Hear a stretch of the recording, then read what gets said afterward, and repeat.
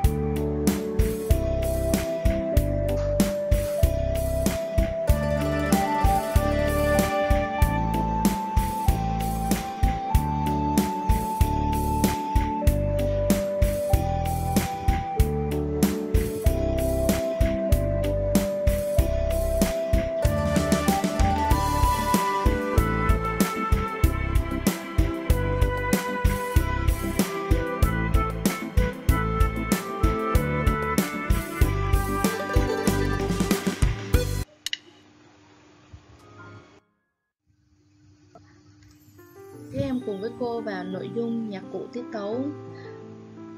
Ở nội dung này, chúng ta sẽ đọc tiết tấu, gõ tiết tấu và dùng những tiết tấu này để gõ đệm cho bài hát và bài đọc nhạc chúng ta đã học. Cô sẽ hướng dẫn các em nào. Công việc đầu tiên của mình là đọc tiết tấu. Các em nhận xét cho cô tiết tấu A được viết ở nhịp 24 này có nốt đen chấm dôi, nốt móc đơn và nốt đen. Các em đọc theo cô ha. Ta i ti ta ta. Lần nữa nào. Ta i ti ta ta. Lần này mình tự đọc nha. hai ba. Các em tự đọc được không? Rồi chúng ta qua tiết tấu B. Tiết tấu B cũng viết theo nhịp 24 và có nốt móc đơn và nốt đen. Kết hợp với dấu lặng nữa. Rồi, cùng đọc với cô nào ti ti ti ti, ta. Ti ti ti ti, ta. Các em tự đọc nhà hai, ba. Một lần nữa nào hai, ba. Tốt lắm. Tiếp tục, chúng ta cùng gõ tiết tấu gõ thì bây giờ chúng ta phải có nhạc cụ, đúng chưa nào? Khi gõ tiết tấu này, các em sẽ được dùng những nhạc cụ sau để gõ này. Ta sẽ có trống, nha. Thứ hai là song loan. Thứ ba là thanh phách đây chính là những nhạc cụ rất quen thuộc ha chúng ta cũng đã gặp ở cấp 1 chúng ta cũng đã được làm quen ở cấp 1 rồi. Mình sẽ dùng chính những nhạc cụ này để gõ hai cái tiết tấu chúng ta vừa học và nếu như bây giờ mình không có nhạc cụ nào hết mình vẫn có thể gõ đệm được đó các con. Đó là chúng ta sẽ dùng bộ gõ cơ thể uh, body percussion để mà gõ đệm những tiết tấu này và gõ đệm cho bài hát và bài đọc nhạc của mình. À, mình thấy có những động tác như là vỗ tay vỗ chân vỗ đùi rồi búng tay. Đó chính là bộ gõ cơ thể. Rồi chúng ta cùng quan sát.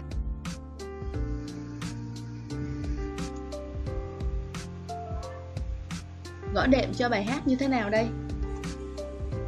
Đây là bài hò ba lý. Cô trích ra câu đầu tiên của bài thôi và cô sẽ dùng cái nhạc uh, tiết tấu thứ hai tiết tấu B để gõ đệm. Vậy thì khi chúng ta ráp vào bài hát chúng ta sẽ gõ như sau. À, chúng ta lưu ý dùng cô là đầu tiên là dấu lặng ngay chữ ba chúng ta không vỗ và bắt đầu vô chữ lý chúng ta sẽ vỗ tiết tấu. Và khi hết tiết tấu chúng ta lặp lại tiết tấu đó thêm một lần nữa. Vậy thì với câu 1 này chúng ta sẽ vỗ tiết tấu này 4 lần. Các em thấy chưa nào? Rồi các em cùng xem minh họa với cô ha.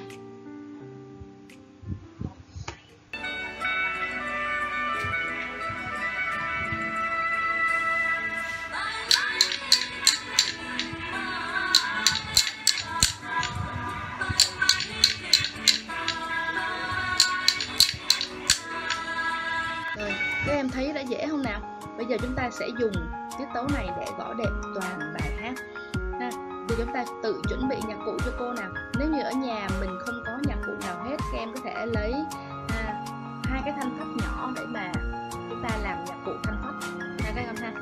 Rồi chúng ta cùng thử ha. Trước tiên cô sẽ dùng trống các em cùng quan sát và mình tập gõ đệm theo cho cô nào.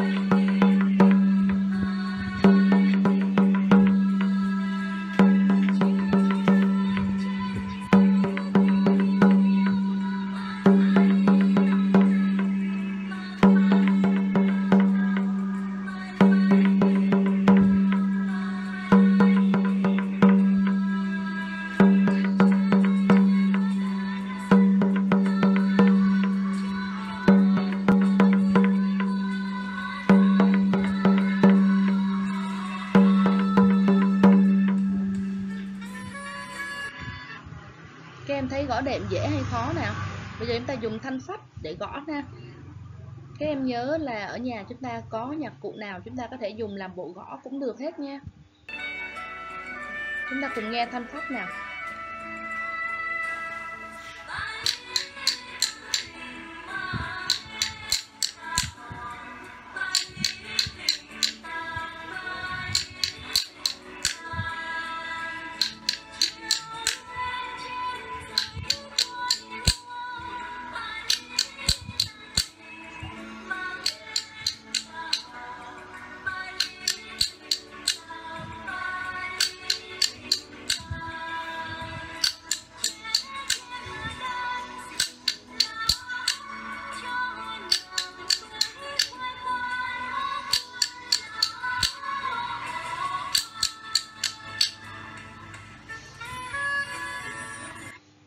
Và clip cuối cùng đây chúng ta sẽ thấy các thầy cô sẽ cùng gõ đệm cho bài hát. Chúng ta thấy có thầy sử dụng body percussion, bộ gõ cơ thể và các nhạc cụ gõ nhé và gõ đệm cho bài hát như thế nào. Chúng ta cùng nghe.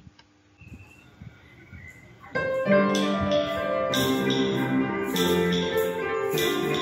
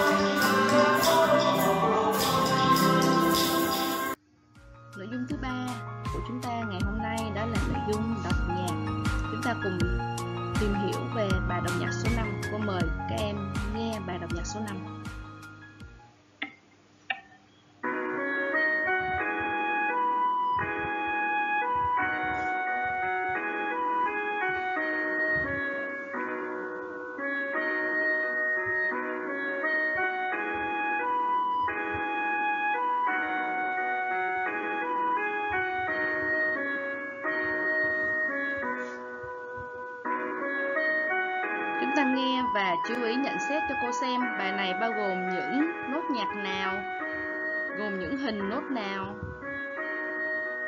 và bài này chia làm mấy câu.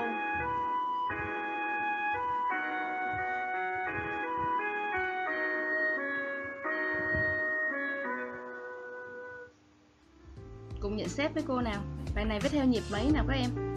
Đó là nhịp 24 và bài này cô sẽ chia làm hai câu.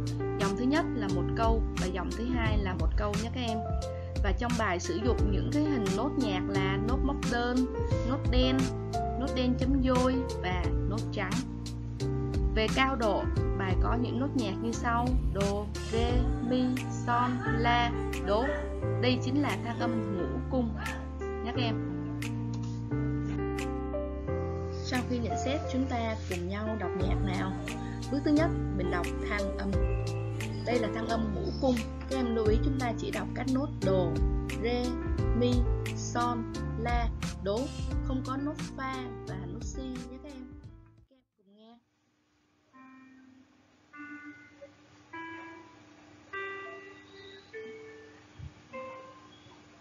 Đọc với cô nào?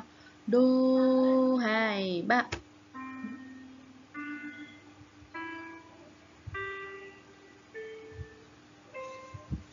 Chúng ta đọc ngược lại nha. Nghe nào.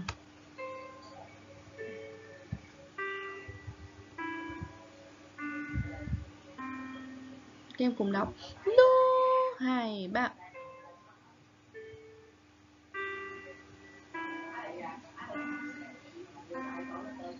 Tốt lắm. Phần thứ hai, chúng ta cùng luyện âm hình tiết tấu. Ở bài này có âm hình tiết tấu như sau. Chúng ta cùng đọc với cô ha ti ti ti ti ta ta ta ti ta một lần nữa nào. Ti ti ti ti ta ta ta ti ta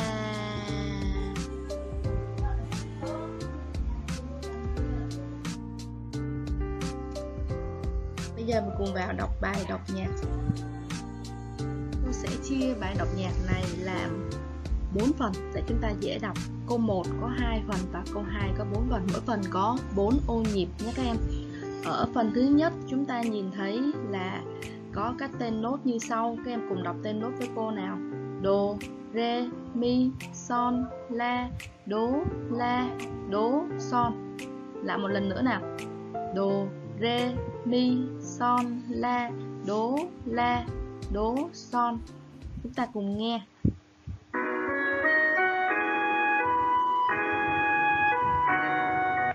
Đọc nhé. Do, re, mi, hai, ba.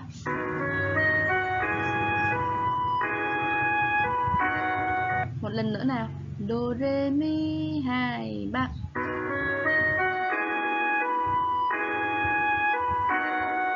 Tốt lắm. Câu thứ hai có tên nốt như sau. La, đố, la, son, mi, re, đồ, re, mi. Các em đọc lại la đố, la, son, mi rê đồ rê mi. Nghe nào.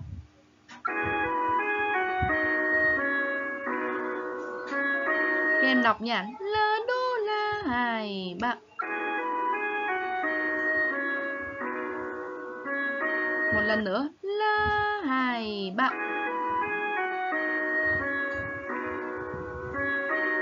Lắm, mình cùng rap câu 1 dùng cô Do, Re, Mi, 2, 1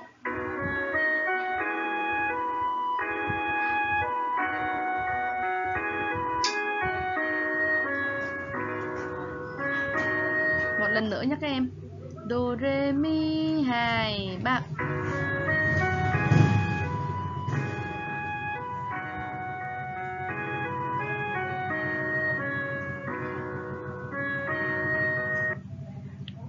câu thứ hai thì phần đầu tiên của câu 2 giống như phần thứ nhất của câu 1. Các em thấy không? Cùng tên nốt do, re, mi, son, la, đố la, đố, son. Các em đọc luôn với cô nào.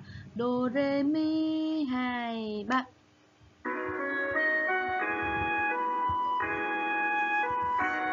Tốt lắm. Và phần cuối cùng la, đố, la, son, mi, re mi, re, đồ đọc lại lần nữa cho nhớ la, đố, la, son, mi rê mi rê đồ. Chúng ta cùng nghe.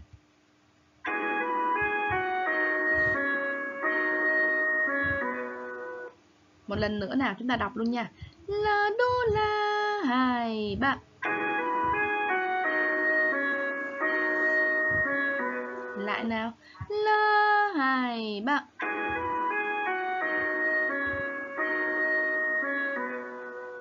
Cùng đáp câu 2 với cô nào? Do, Re, Mi 2 1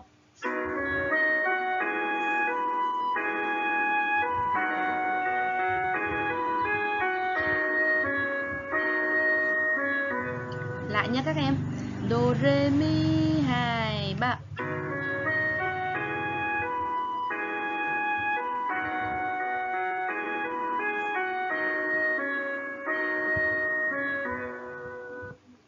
xong hai câu. Bây giờ chúng ta cùng ráp lại cả bài đọc nhạc số 5 này với cô. Từ câu 1 tới câu 2 nhé các em. Do, re, mi 2 3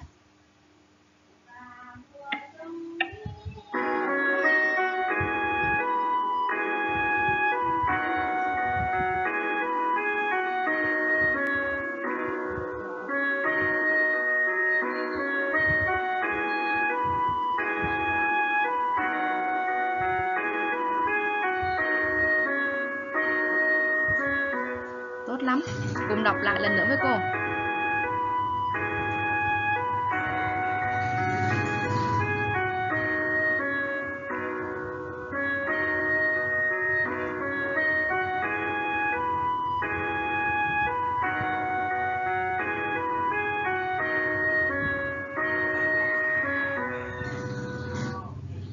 Các em có thể tua lại đoạn này để có thể đọc bài được dễ hơn nếu như mình đọc chưa được nhé.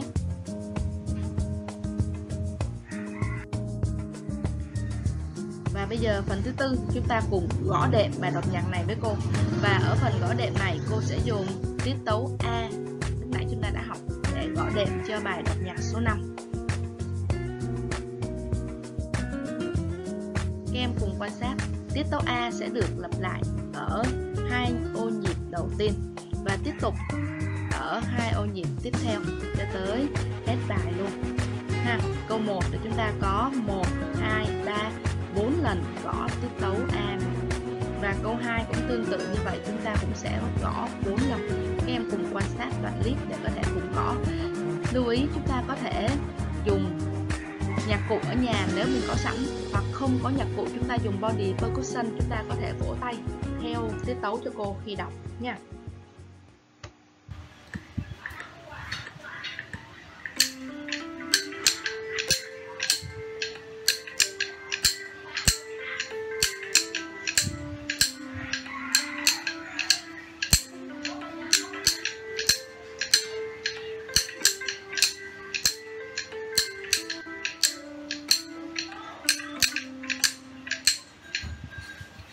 Một lần nữa, chúng ta sẽ quan sát phần trống và cùng gõ nha các em.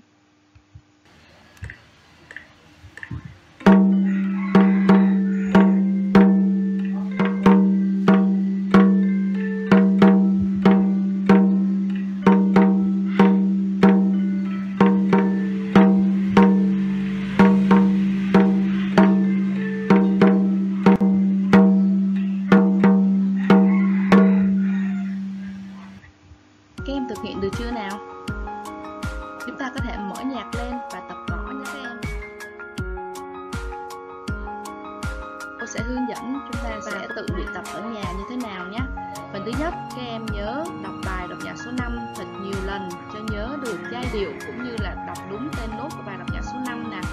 Và thứ hai, các em sẽ chọn một loại nhạc cụ tiết tấu để gõ đệm cho bài hát và bài đọc nhạc số 5 Chúng ta có thể chọn một trong số những nhạc cụ có trống chúng ta sử dụng trống. Chúng ta có thanh phách chúng ta sử dụng thanh phách và nếu như không có trống cũng như thanh phách chúng ta có thể sử dụng body percussion bằng cách vỗ tay. Và khi lên lớp các thầy cô sẽ hướng dẫn chúng ta thực hiện nhiều cái động tác hơn cô chúc các em luyện tập thật tốt nhé.